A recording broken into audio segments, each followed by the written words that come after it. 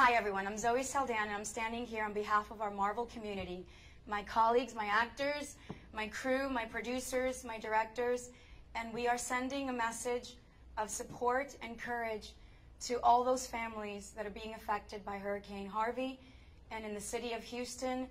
And um, we just want to send a message out to everyone that whatever you can do to help, um, please go online, go to the redcross.org, go to um, any ABC network, and donate anything that you can from a dollar, five dollars, a box with a can of goods, toilet paper, towels, anything you can to support those families that are being affected today. We are very fortunate right now. We get to go to work and we get to go home to our families. And there are many people right now that don't have a home, are losing family members, and don't have work. So please, whatever we can do to help, we all stand as one. When one city is underwater, we are all underwater. So to everyone being affected by Hurricane Harvey, we are here. We're going to try to help you.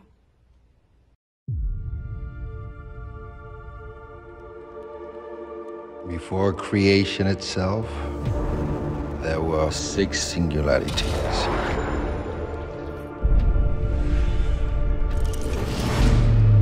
Forged into infinity stones.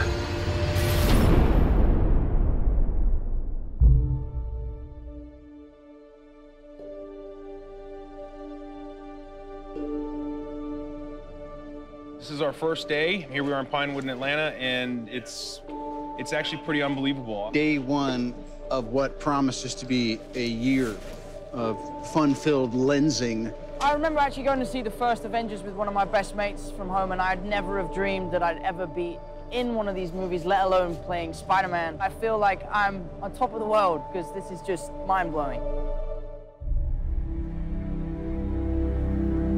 What we always try to do at Marvel Studios is we're building the cinematic universe, is look at the big picture, how can things relate across movies and across years. Avengers Infinity War is the culmination of the entire Marvel Cinematic Universe as started in May of 2008 with the release of Iron Man 1. And it really is an unprecedented culmination of a series of films interlinked together, which at the time had never been done before.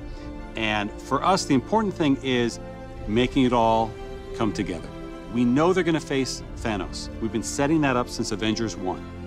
How do you do that in a way that is unexpected, that pits the Avengers against somebody who is more powerful than anyone they faced, and yet make them completely unprepared to face him? Well, tear them apart, which is why we did Civil War before Infinity War.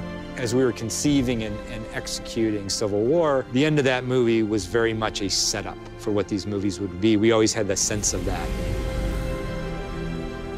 Tony is not talking to Steve. The Avengers are basically a name with nobody in it. The world is vulnerable. Tony senses this greater threat approaching, and so he is doing everything in his power to keep the Earth safe.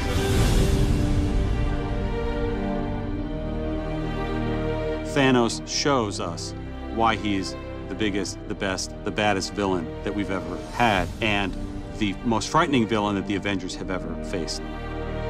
The most exciting part is the incredible roster of well-developed characters, and it's going to create a really combustible, exciting, massive-scale adventure.